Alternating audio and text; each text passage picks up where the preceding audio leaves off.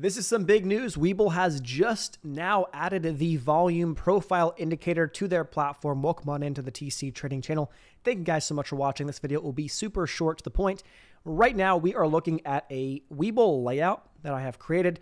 We've got some videos already here on the channel going over how to create your layouts to look similar to this or just to customize them to your liking, but we are on the desktop platform. Make sure when you go to the settings symbol in the bottom left-hand corner of your platform and you go to the update or the check for update section right here, make sure you have the latest version installed. If you do not, go ahead and do so. Then come back to your layouts, and now we can add indicators onto our charts, which is what we are all here to do. So the volume profile has been something that I think a lot of people have been requesting as of late. It's a pretty popular indicator these days, and now Webull's got it. So up in the top left of your charting feature, there's an indicator option. I know it's super small. I'll do my best to highlight things, circle things, make it bigger so you guys can see. Go to the indicator section.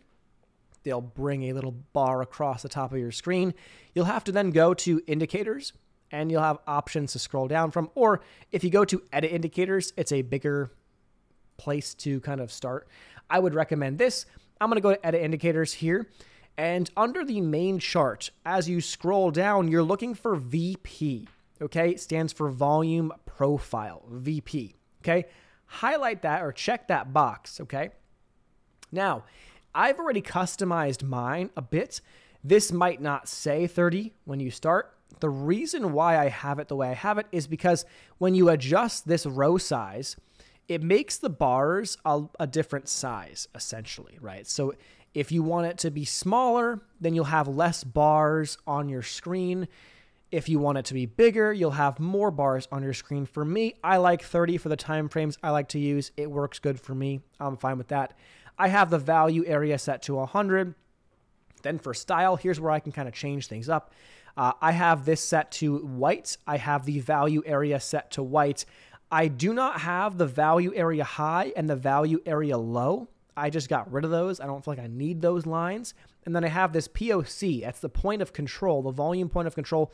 That is the highest volume price point or price band on your chart, indicated by this red line. I make it red just so it's easier to see uh, on my charts.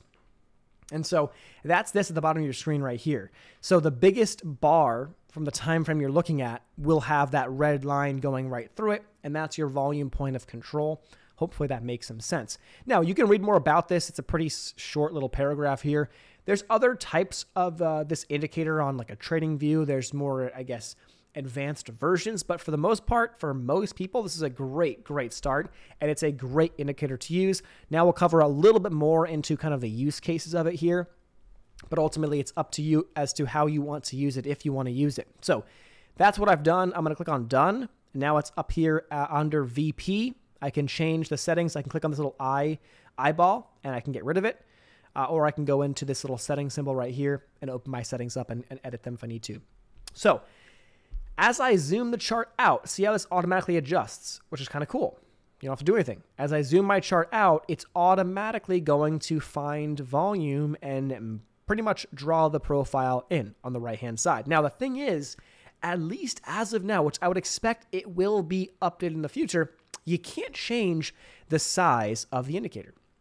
So you can't make it smaller to the right hand side so it doesn't take up as much of your screen, which is kind of annoying, kind of not a huge deal.